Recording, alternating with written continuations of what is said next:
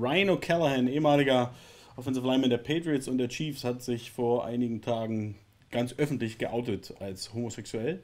Er ist der siebte ehemalige NFL-Spieler, der damit an die Öffentlichkeit gegangen ist. Keiner der Spieler hat es gemacht während seiner aktiven Zeit. Der einzige Michael Sam, der aber ja. am Ende nicht, nicht gespielt hat. Gespielt hat. Ähm, ja, also ich finde es immer noch, ich finde es völlig in Ordnung, finde es gut. Finde es eigentlich sind zu wenige. Aber ich glaube, das ist immer noch so ein, das ist halt so ein Antisport-Thema, ne? Ich finde es gut, wenn, wenn Menschen das machen. Ich finde, es, ich finde nichts schlimmer, ähm, wenn man einer jungen Generation vorlebt, dass man vielleicht sein Leben verstecken muss, dass man seine Entscheidungen verstecken muss und vor allem, dass man den Menschen verstecken muss, für den man wirklich lebt, den man liebt oder mit dem man zusammen eine Familie gegründet hat. Egal, ob das jetzt zwei Frauen sind oder zwei Männer oder was auch immer.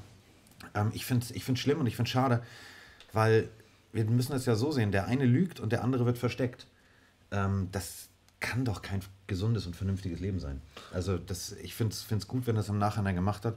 Vielleicht ist es irgendwann in zwei, drei, vier, fünf Jahren auch in der NFL vielleicht irgendwann mal egal. Auch einfach mal kein Thema mehr. Richtig, ja. dass du nicht sagst, oh, der ist aber so, sondern der spielt gut. Punkt. Das ist seine Statistik.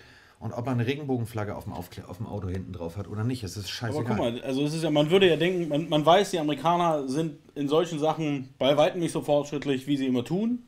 Müssen wir uns einfach mal, ist einfach mal so. Und Fakt ist auch, dass wahrscheinlich 50% der amerikanischen Footballspieler einfach auch extrem gläubig sind. Und für die ist es ein mhm. absolut No-Go. Also ich habe genug Footballspieler erlebt, die einfach 24 Mal am Tag beten. Ja. Und für die geht es einfach nicht. Wenn du da im tiefsten Texas bist, ist Klar. das einfach echt ein Problem für dich. Gut, da, da, sind auch die meisten mit der Kuh noch verwandt. Aber das Problem ist natürlich, du musst natürlich, ganz ehrlich, wir haben äh, Footballteams in Metropolen wie New York, Los Angeles, Miami, wo nun unbedingt, ich sag mal so, klar, ich finde, gläubig und, und homosexuell schließt sich nicht aus. Also ich kann ja glauben, auch wenn ich, wenn ich einfach äh, mich zu Männern hingezogen fühle oder wenn eine Frau sagt, ich fühle mich zu Frauen hingezogen ich finde, ganz ehrlich, es sollte heutzutage in unserer Zeit kein Thema mehr sein.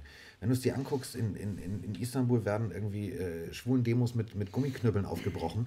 Ähm, klar, ich gebe dir recht, Texas, mittendrin, irgendwo, rechts ist ein Kaktus, links ist ein Kaktus. Wenn du da einen Bauern fragst und sagst, Entschuldigung, was hältst du davon? Der wird wahrscheinlich irgendwie sagen, oh Gott, oh Gott, das gleich blitzt es hier und äh, Gott schickt Blitze vom Himmel und darüber dürfen wir nicht reden.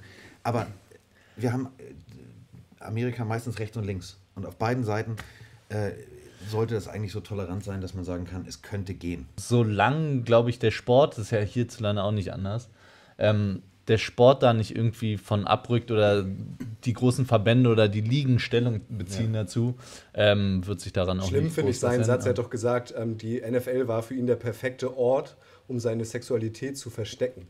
Das sagt ja schon das ist eigentlich das ein relativ deutliches Statement. Also das, ja, weil das, das, ist traurig. Da erwartest du es halt am wenigsten. Ne? Und das ja. ist, ähm, wie gesagt, also irgendwann in vielleicht, wenn in 10, 15 Jahren irgendwie die Generation, die jetzt gerade in der Highschool anfängt, irgendwann mal vielleicht was zu sagen hat in der NFL. Vielleicht wird sich dann irgendwas ändern, aber bis jetzt ist es halt so, das ist schon alles eine komische Veranstaltung.